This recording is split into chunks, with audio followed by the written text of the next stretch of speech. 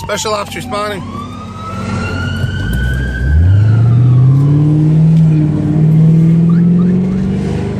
Special Operations responding to the working fire.